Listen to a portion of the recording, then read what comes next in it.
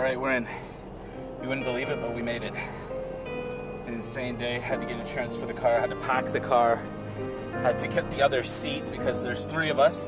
But needless to say, we're on the way. Oh, come on, old girl, you can do it. Heading out into the wilderness. Brand new logging going on here.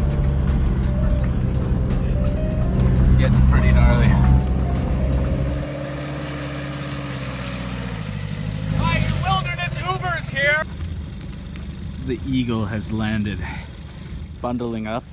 Very low visibility here. So tonight we're going to be having some chicken, I think. Uh, we'll be getting that on the grill. So another little bro tip here is that while everybody is excited that the chicken's on and going, you want to kind of relax their appetites a little bit. It's looking great.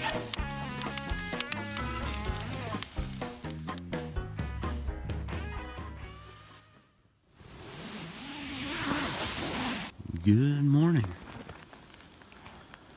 It's uh, 7:30 a.m. and we've got some clear up here. Beautiful mountain range. What a great looking spot here. Last night we forgot to be diligent and put away some of our stuff, so it got snowed on.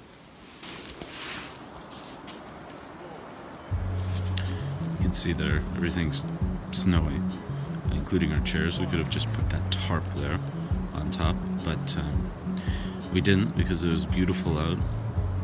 No wind, didn't have to worry about anything. But if this was a rainy day and we had to use those chairs again, then we'd be paying for it. So always remember to put away your stuff, assuming that it's going to pour and rain overnight.